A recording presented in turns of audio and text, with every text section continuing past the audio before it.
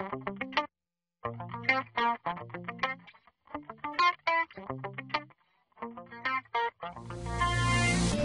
you want to use a TM1 cube for reporting purposes using a Framework Manager package, there is one thing you need to do. You need to open Server Explorer, select the cube, right click on it, select Properties, and pick the dimension that is your measure for that cube. And you just click OK. After creating the Framework Manager package, you can now use the TM1 cube in Report Studio for example.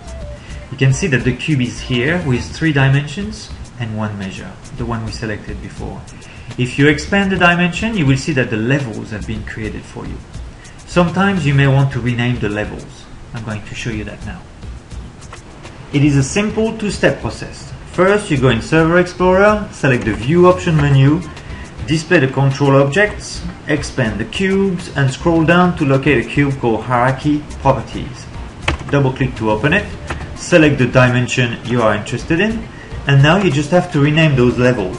Level triple zero is the top of your hierarchical structure. So in my case, I'm going to call that total cakes. Press enter, then I have my cake types, and finally, lowest level, the cakes. I am done with step one, I can close my cube. The second and final step is to create a Turbo Integrator job in which you are going to code the following uh, function. If you go in the Advanced and then the Prolog tab, you just need to code that one-liner that says refresh MDX hierarchy and between round brackets and single quotes the name of the dimension for which you want to rename the levels.